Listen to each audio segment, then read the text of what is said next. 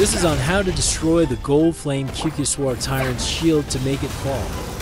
First, we wait till the boss using his shield, and we wait till he used the skill. After the last projectiles, there will be this pyro thing that you can destroy with Hydro Attack. Keep doing it so that can prevent the boss to flying high, and that's pretty much it.